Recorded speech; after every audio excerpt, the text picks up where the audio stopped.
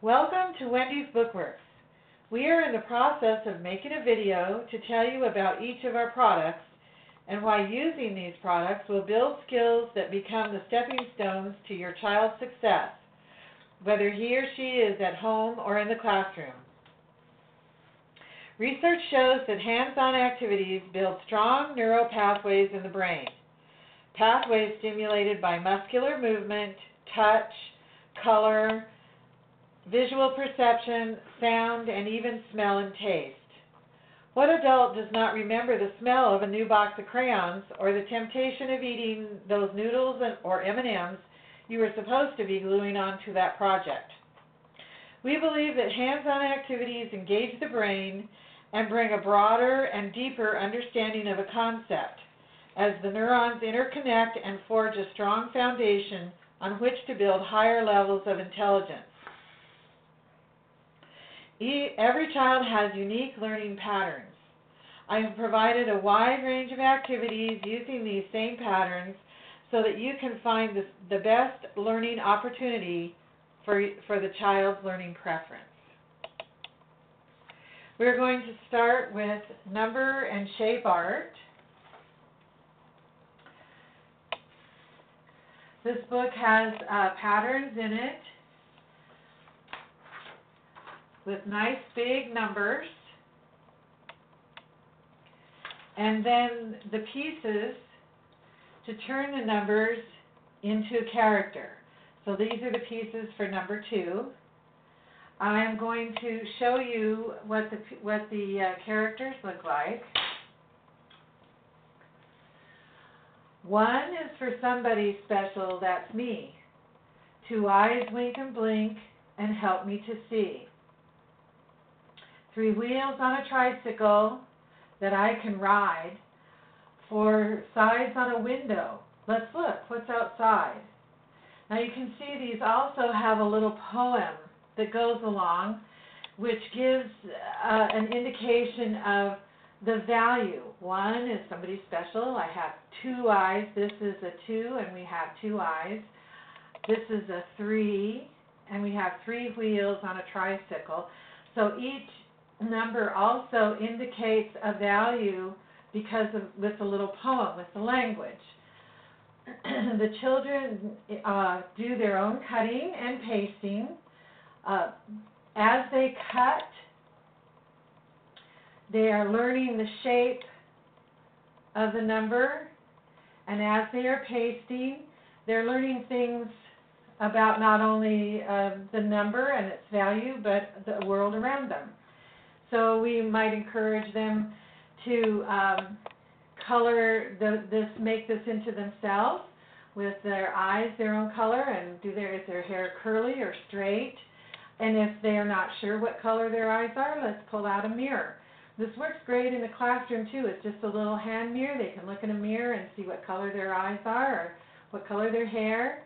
Um, as they're cutting a hand, they're learning that the thumb is opposable. They're learning right and left.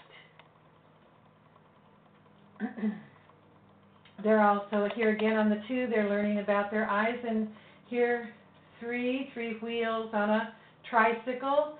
The word tricycle also will come up later as a triangle. So we'll go on here with five. Five are the fingers I have on each hand, and when they make a, a handprint, they're going to remember that five is, this is the number five, and it takes five digits to, um, to make five. That's its value. Here we have six legs on a ladybug help it to stand. Seven days of the week here. And we have the flags with the seven days, naming the days. And eight legs on the spider made Miss Muffet say eek. Now if we look at the six and the eight, we see these curves, but on the 6 there's an opening. On the 8 it's closed. But on the 6, not only is this opening, is there this opening, so as they're cutting, they realize that there's a, a different shape. And then when they glue on the six legs, they're associating the six with the number six. The eight, although it's similar, now they have a different experience. The circles and the curves are closed and they're gluing on eight legs. Nine pretty petals stretch up to the sun, and ten little toes really help me to run.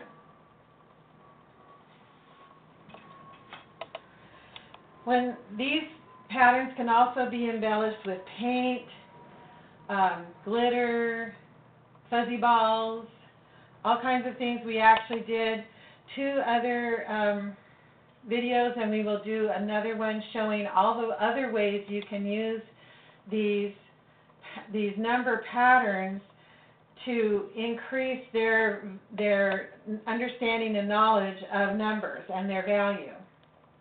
When the child is cutting the number, the eyes are visual, visualizing the shape, giving that information to the brain. The brain is telling the muscles how to cut. This information is stored, and each time the child cuts a new number or repeats and cuts a second number, the same number, the process is refined, and the brain establishes a file, so to speak.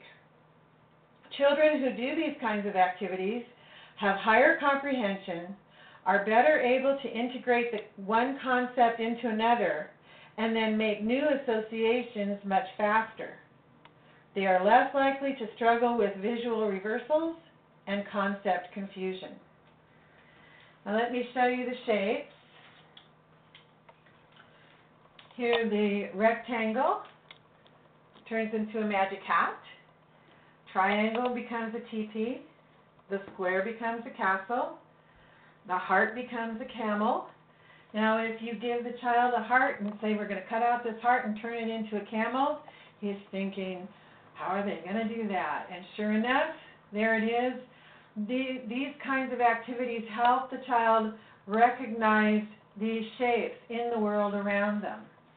Circle makes a teapot, diamond makes a rocket, and his friend the star becomes an astronaut.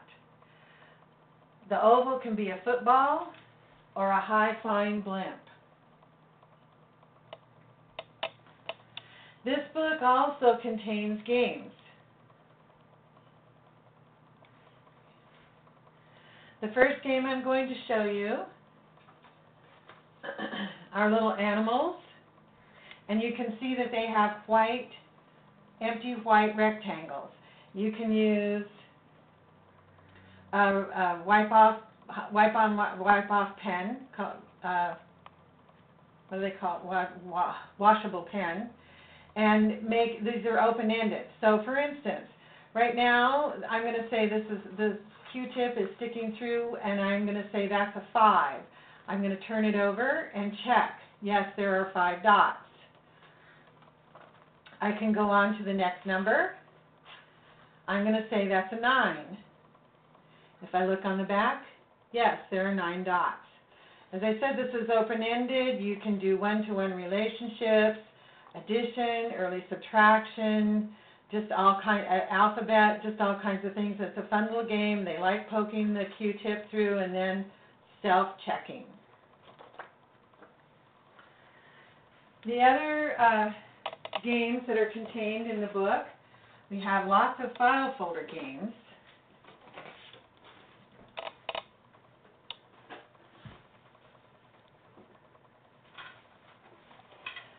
This uh, is a a file folder game which has sheets for numerals, number words, and sets, 1 to 20, and they can all be interacted. The sets can be matched to the word or the numeral, and again, then again, the numeral can be matched to a set, or the word can be matched to a set, or the numeral can be matched to the word. So they're all interactive. With this one here, we're counting astronauts onto a board 1 to 20 with the numerals. And here we're counting polar bears on a board 1 to 10 with numerals. Now we stack and stick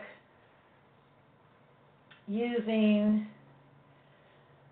the, um, this is double-sided tape which is removable. There's also double-sided tape, which is permanent. So you want the removable one, and it just goes on the back of the piece. And these can be stored stacked like this. They're just stuck to one another. And then when you pull the game out, peel one off and stick it on. So again, that's double-sided tape, removable. It acts like a little post-it note. We also count treasure chests onto a board of numeral words, number words, 1 to 20, and we count dinosaurs onto a board of number words, 1 to 10.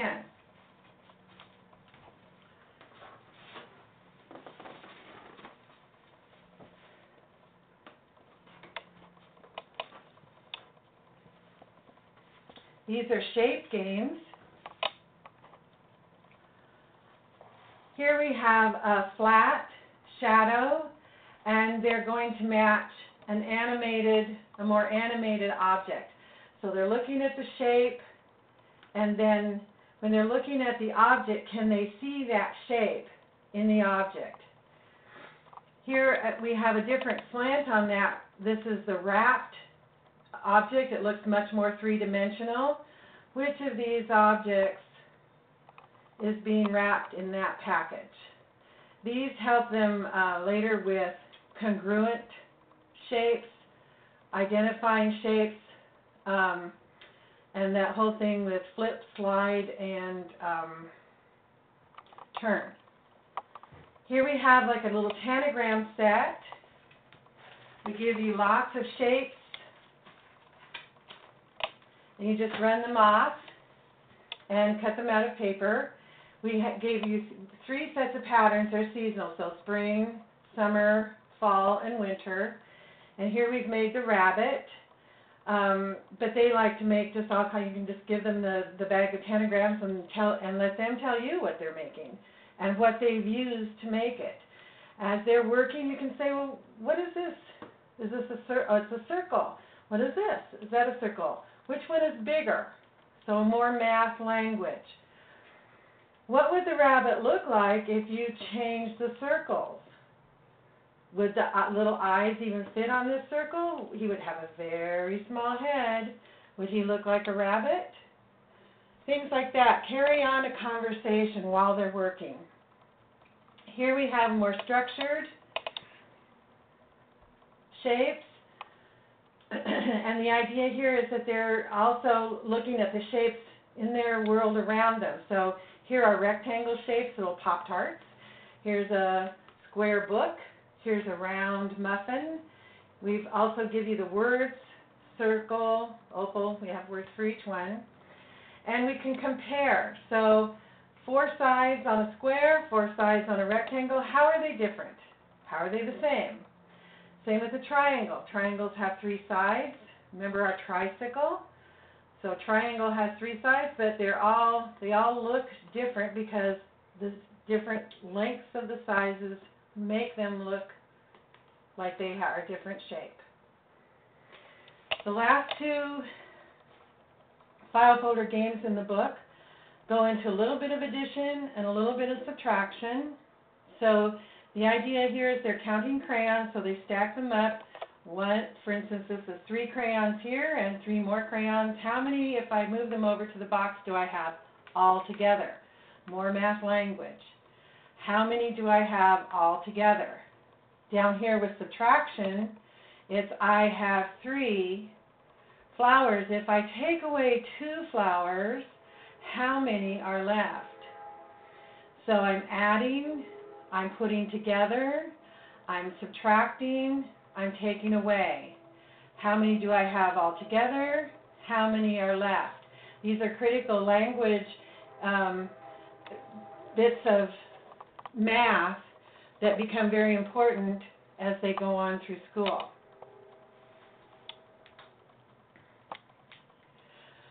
Thank you very much. Uh, please look for our second video on number and shape art and we will show you more activities and ways